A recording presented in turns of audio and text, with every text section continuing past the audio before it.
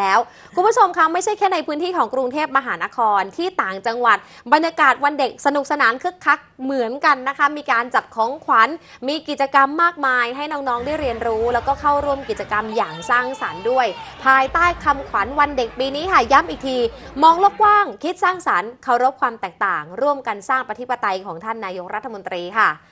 คุณผู้ชมคะทางด้านพลโทปราโมทย์ พรหมอินทร์รองแม่ทัพภาคที่ 4 นะคะ ท่านก็เดินทางมาด้วยเฮลิคอปเตอร์ค่ะ มาเปิดงานวันเด็กแห่งชาติปี 2567 ที่ว่าการอำเภอแม่ลานอำเภอแม่ลานจังหวัดปัตตานีนะคะ ก็มีทั้งประชาชนแล้วก็เด็กๆเนี่ยมาร่วมงานกันไม่น้อยค่ะ นับพันคนทีเดียว บรรยากาศก่อนเปิดงานอะเดี๋ยวจะพาคุณผู้ชมไปดูกันนะคะ ก็จะมีท่านรองแม่ทัพภาคทีสี่4 ที่เดินทางมาด้วยเฮลิคอปเตอร์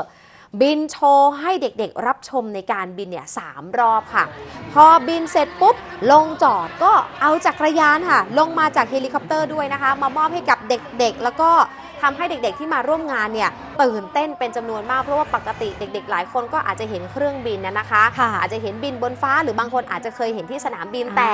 ไม่ค่อยเห็นเฮลิคอปเตอร์เท่าไหร่ใกล้ๆอย่างเงี้ยไม่เคยเห็นใช่แล้วมาบินลงตรงนี้ด้วยนะคะค่ะบางคนก็ตื่นเต้นก็เลยมาถ่ายรูปกันเป็นที่ระลึกกันทั้งครอบครัวกันอย่างอบอุ่นทีเดียวนะคะ อะคุณผู้ชมจากจังหวัดปัตตานี พาไปดูที่จังหวัดยะลากันบ้างนะคะ ที่สวนสุขภาพอำเภอเมืองยะลา จังหวัดยะลา ชมรมคนรักม้าบ้านเขาตูมปัตตานี และชมรมคนรักม้ายะลานำม้ามา 10 ตัวค่ะ ให้เด็กๆ ได้สัมผัสกับความน่ารักของม้านะคะ ก็ขี่ม้าเล่นจูงม้าบ้าง แล้วก็ยังมีการเซลฟี่กับม้าเซลฟี่กับครอบครัว ซึ่งเด็กๆ ก็สนุกสนานแล้วก็มีความสุขรวมถึงรอยยิ้มด้วยค่ะ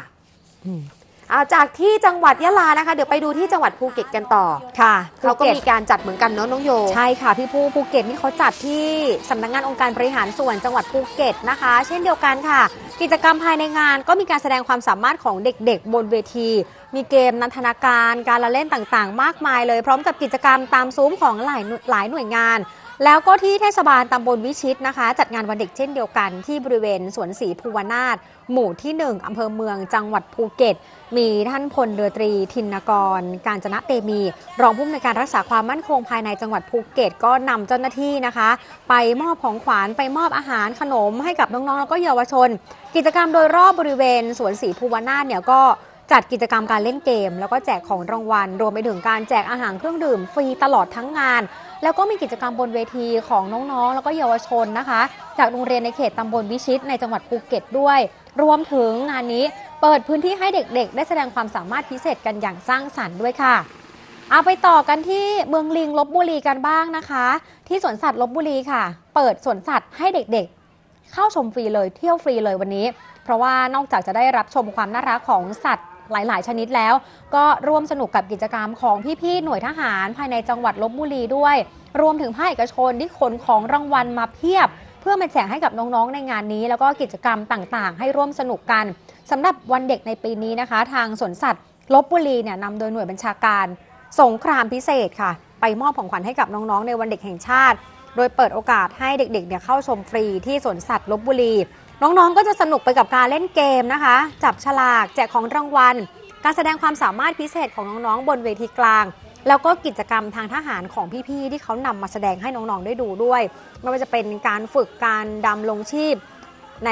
พื้นป่านะคะ การแสดงยุทโธปกรณ์ทางทหารแล้วก็กิจกรรมต่างๆ ตลอดทั้งวันวันนี้น้องๆ สนุกกันมากเลยนะคะ ที่ลบบุรีใช่ค่ะ คือหลาย ๆ พื้นที่ตอนนี้เด็ก ๆ ก็ยิ้มกันหมดเลยนะคะค่ะแต่อยากจะพาคุณผู้ชมไปอีกจังหวัดหนึ่งค่ะ อันนี้ไม่ใช่เด็กแต่แต่งตัวเป็นเด็กนะคะค่ะไปดูที่จังหวัดระยองค่ะ ที่ปั๊มน้ำมันริมถนนสุขุมวิทค่ะเข้าเมืองระยองตำบลทางเกวียนอำเภอแกลงจังหวัดระยองนะคะ หลายคนถามอุ้ยเอ้านี่เอาเด็กมาทำงานหรือเปล่ายังใส่ชุดนักเรียนอยู่เลยอืมปรากฏว่าไม่ใช่เด็กแล้วนะคะ แต่ว่าเป็นพี่ๆพนักงานปั๊มเนี่ยแหละ อยู่ที่ประจำสาขาพื้นที่ภาคตะวันออก คือพี่ๆเขาเนี่ยก็มาช่วย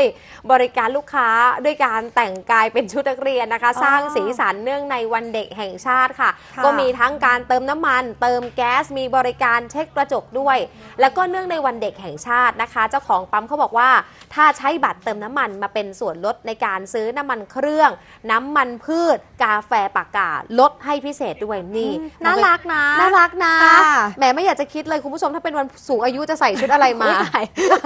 อันนี้วันเด็กก็เป็นชุดนักเรียนน่ารักไปนะคะเออเออเออค่ะคุณผู้ชมอะพาไปดูค่ะ ขึ้นเหนือกันอีกไปที่จังหวัดลำพูนนะคะ ที่พิพิธภัณฑ์ทสถานแห่งชาติหริพุนชัยจังหวัดลำพูนค่ะ ที่นี่ก็เปิดโอกาสให้เยาวชนนะคะ มาร่วมเข้ากิจกรรมการเรียนรู้ โดยใช้ในแนวคิดของ Edutainment ค่ะ ที่เป็นความรู้คู่ความบันเทิงแบบบูรณาการอย่างทั่วถึง ก่อนเน้นทั้งความเรียบง่าย คุ้มค่าประหยัด ตามหลักปรัชญาเศรษฐกิจพอเพียง มีการจัดแสดงยานพาหนะและยุทโธปกรณ์พร้อมกับเครื่องมือ ในการสนับสนุนการพัฒนาประเทศ และบรรเทาสาธารณภัย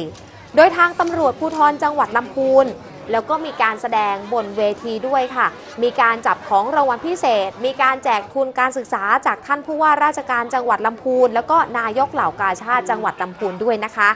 นี่เด็กๆวันนี้บอกว่าแหมหอบของกลับบ้านกันเพียบเลยนะคะอ่าถือว่าเป็นการสารฝันค่ะเพราะว่าตอนเราเด็กเราก็ยังจำได้ดีนะคะเพราะว่าพอเช้าๆมากระตือรือร้น อยากให้คุณพ่อคุณแม่พาไปเที่ยวเหมือนกันอ่าใช่อืมเมื่อเช้าที่กรมประชาสัมพันธ์เนี่ยไปกันตั้งแต่6กโมงครึ่งหกโมงเลยก็โอ้โหว่าได้ ประตูยังไม่เปิดเลยใช่ค่ะคือพ่อแม่ผู้ปกครองเนี่ยพาน้องๆ ไปตั้งแต่เช้าเนี่ยบางบูธของทั้งหน่วยงานของเราเอง แล้วก็หน่วยงานของเอกชนยังจัดไม่เสร็จเลยพี่ค่ะผู้แต่ว่าเขามาแล้วก็อยากไปรออยากไปดูว่าอืมไปเดินเซอร์เวย์ก่อนว่าอยากจะไปเล่นตรงไหนดีเขาก็พากันไปดูนะคะ